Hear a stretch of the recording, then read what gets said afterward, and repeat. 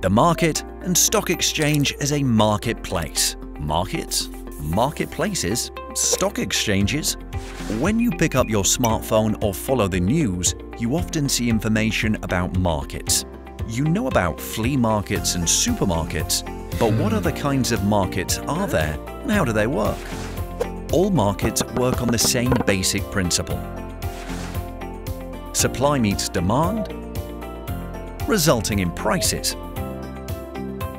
On offer are goods, services, labour,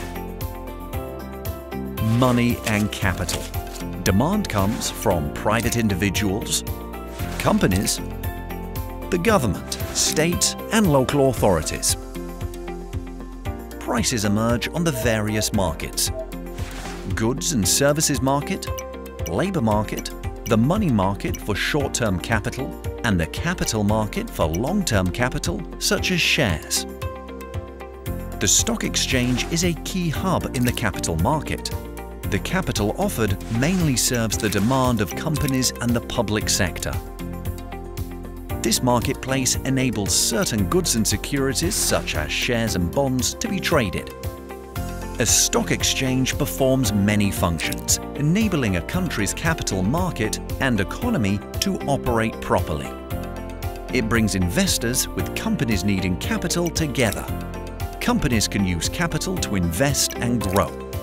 The stock exchange helps shape the capital market, provides a trading platform, keeps markets under surveillance and gives new companies and members admission to lists to trade. Anyone can find out about prices and markets on the stock exchange. Understood. Supply and demand come together on markets and prices emerge. Markets such as stock exchanges are important so that the economy can function. I'm off to the flea market.